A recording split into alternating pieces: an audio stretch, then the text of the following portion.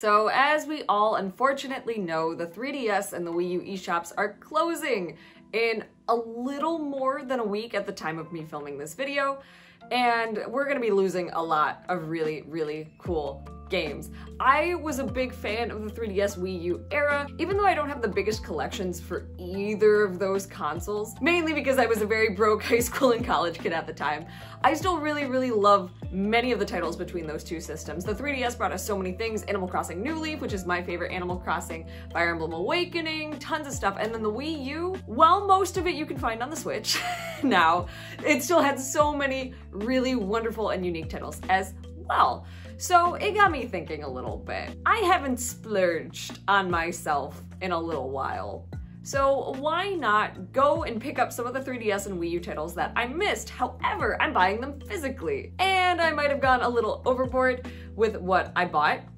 Whoops. And I wanted to share what I picked up recently with all of you. And that is the topic of today. Hi everybody, my name is Alex, aka Qualitea, and welcome or welcome back to the channel. So the reason I picked up these games physically as opposed to digitally is honestly, aside from just preferring physical copies of games, I have a feeling a very, very, very, very, very strong feeling, and I think everybody else also has this feeling, is that while we're losing the eShop and we're losing digital access to all those titles, the prices of the physical copies of the games left over are going to shoot way up. This always happens kind of when we get to this point of the console's life cycle slash death cycle, I guess. so I wanted to grab a few physical copies that really mean a lot to me that I really, really wanted before it was too late and before prices got way, way too high. So these are primarily 3DS titles, but I do have two Wii U titles as well. I found that when looking at my two pre-existing game collections,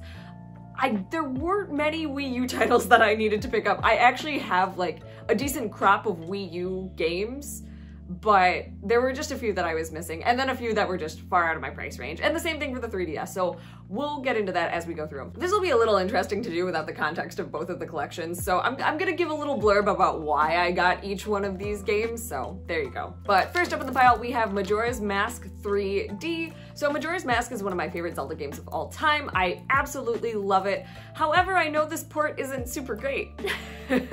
I know there are a lot of issues with it, so why would I pick it up? And honestly, it's mainly because I have I have Ocarina of Time, Link Between Worlds, basically all of the Zelda games on the 3DS minus I think Hyrule Warriors because I don't have a new 3DS. So I was like, I really just kind of want to add Majora's Mask to my collection. Will I play this version? I don't know. Typically right now, I really just prefer playing on the Wii Virtual Console. That's how I grew up playing it, and that's uh, typically how I just feel the best playing it. So I, I don't know, but I really wanted to get it anyways. Plus, I really do like the cover a lot. Um, it's just, it's a, it's a nice one to have. The one thing too that I'm gonna note, which if it affects all but two of the 3DS pickups that I got. As you'll notice, there is the World Edition sticker on some of these. So I'm not a hardcore collector, but what this means, it just means that these were games that, while they work on North American systems, they were licensed to be sold in other countries like Saudi Arabia, all of that kind of stuff. So all it does is it really just adds this little circle and a little triangle on the back. I don't know if you can see it, but a little triangle on the back Otherwise, it's completely the same. Like, it's completely the same. It doesn't bug me. However, if you're looking at doing something really similar to what I'm doing and buying a bunch of physical copies, especially of 3DS games, that might be something to look at. These games are typically cheaper because they're easier to find, which was the selling point for me, honestly. But if that's gonna bug you, then be wary of the physical copies that you're buying because this is gonna show up a lot. Next up, another one that I missed and I'm still shocked to this very day that I missed on the 3DS is Bravely Default. I have not played Bravely Default 2 on the Switch yet. I haven't played any of the Bravely Default games.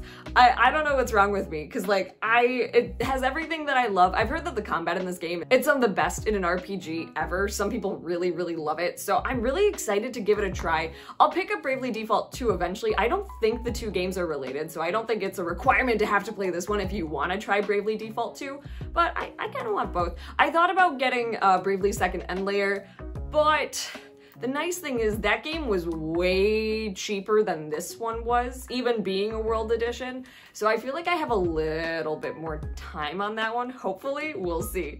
We'll see. I, I'm really, really hoping. But this this is a game that I'm gonna play not super soon, but definitely going to try to fit in this year, I think. So I'm really excited. And for our next game, we have featuring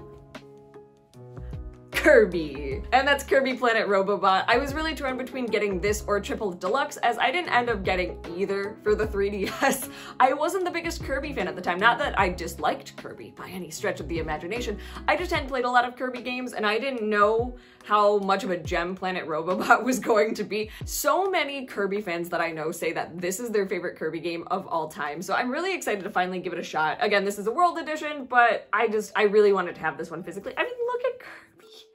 Look at Kirby, he's so cute. He's just this little robot. Oh my gosh incredible. So I'm really, really excited. This is gonna be a nice one that's gonna be, I think, pretty easy to pick up and play whenever. I feel like Kirby does a really good job on handhelds. Like, I don't know, it's just, it just seems like the perfect pick up and play kind of game. So Kirby Planet Robobot, I really hope to pick up Triple Deluxe at some point in time. Again, kind of the same thing with uh, Bravely Second is Triple Deluxe seemed to be a, quite a bit cheaper than Planet Robobot. So I think I might still have a little bit of time. Other thing I forgot to mention is all but one of the games in the entire haul are sealed.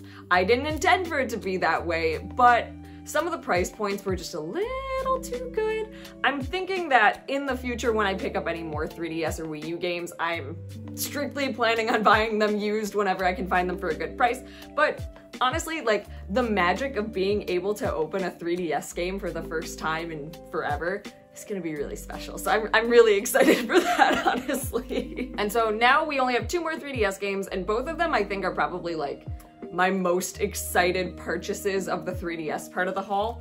And first up, we have one that was previously really, really expensive and then went down in price and is now more expensive again. And that is Story of Seasons Trio of Towns. So this game, I believe, is the second Story of Seasons game after the Harvest Moon Story of Seasons split, which is a whole other thing. I kind of want to do a video on that at some point because I, it was as a longtime Harvest Moon fan, it was very confusing, and I think there was a lot of confusion. And like, there are videos on it already, but I, I don't know. I really like talking Harvest Moon Story of Seasons. So this was, I think, the second Story of Seasons game because there was Story of Seasons, Trio of Towns, and then I think there was another one before the Switch. I could be wrong. But this one I've heard is absolutely fantastic. A lot of people really, really love this game and it shows because it was super expensive for a really long time. like really, really, really expensive. And I lucked out because again, sealed copy, brand new. I don't know if they did a reprint. The um the wrap on the game is kind of like crinkled, but I don't think that actually is like the front cover of the game. Like I think that is just the plastic on the outside. Regardless, um, I picked this up for like $39 brand new and then like I checked recently and it was already back up to 50, which for some people that might not be a big deal. I think it was more expensive a long time ago, but I'm I'm I'm just happy that I was able to get it because I didn't think I was gonna get this one, but I I'm really happy. And it just looks so cute. Like all of the art is so so cute. If anybody wants to know some of my favorite kind of animal drawings. It's always like the Harvest Moon story of seasons cows. like they're so good, they're so cute. And just everything, the chickens are really good too. Just, I'm so excited. I'm really, really happy to play this. Because I have a lot of the other Harvest Moon games on the 3DS before the split happened, and they're good, but I've just heard really, really nice things about this one. So it'll be nice to play a Story of Seasons game on my 3DS again. All right, and our final 3DS game and the 3DS game that inspired this whole video Fire Emblem Shadows of Valentia. So, after playing Fire Emblem Engage, which review coming soon, I was in a huge Fire Emblem kick. I wanted to play Awakening again, I wanted to play Fates again, which is saying a lot. In a weird way, I didn't want to play Three Houses again because I was like, I kind of want one of the more like, you know, just a handheld experience because I played a lot of Engage handheld, which I didn't do for Three Houses, so I think maybe that's what the connection was. But I missed out on getting this game when it first came out. When this game came out, it was 2017, which at that time, I was probably at my like brokest college year and the Nintendo Switch was either coming out or just coming out. I can't remember exactly when this came out in 2017, but I knew I wasn't gonna pick it up because I didn't have the money. But now I do have the money. And this, I'm so excited. I think of all of the 3DS games, this is probably gonna be the first one that I play out of this whole haul um, just because I've been thinking about this game for forever. And I love Celica. Even before Engage, I really just liked Celica as a character, and I know a little bit about the story. It's a remake of Fire Emblem 2, which is really cool, and I know a lot of people really love it. It has some of the best art in the series, in my opinion, just based on what I've seen, so I'm so excited. This was also not super expensive, um, and this, I have not seen this game fluctuate in price quite a bit. I think a lot of people missed out on it because it was towards you know, it was right at the beginning of the Switch hype, I think, and like kind of towards the end of the 3DS hype. So if you're looking for a good Fire Emblem experience, then I, I say pick up this one. I can't give you my definite like review because I don't know, I haven't played it, but I know a lot of people really like it. So very excited for this one. All right, so now we are into the Wii U titles. So there are two Wii U games. As I said, my Wii U collection is pretty complete by my standards. A lot of those games you can get on the Switch now, like Captain Toad Treasure Tracker and stuff like that, because I thought about picking that up on the Wii U, but I was like, but I could just buy it on the Switch. So that is one problem with the Wii U is like a lot of those titles have already made it over, which is good if you already have it. But there are a few that you would have thought had would have been ported over by this point in time but did not. And this is one that I see get talked about all the time about people wanting it ported over to the Switch. Maybe we'll get it, maybe we won't, but regardless, I have it on the Wii U now and I'm so glad. Xenoblade Chronicles X. This was a late night, randomly fantastic deal purchase. So I had been looking at Xenoblade Chronicles X for like months because as many of you know if you've been around on the channel a lot I love the Xenoblade series. Two we're working on. We're working on. We're gonna start playing it really soon. I love the series but I never played X. This was the Wii U game that I asked for for like two Christmases in a row. Never got it so I gave up. And I found this used copy. This is the only used copy in the whole series and honestly, in the whole video, and honestly, it's not in bad shape. Like there are a few little scuffs over here, there's like a bite mark on the back, so I don't know who bit that. But honestly, it, it it's great. The disc is in like perfect condition, so I'm super happy about that. Um, but yeah, so I've been looking at this for a while and I had found it mainly coming in around like the 80, 90, sometimes 100 if it was in good quality.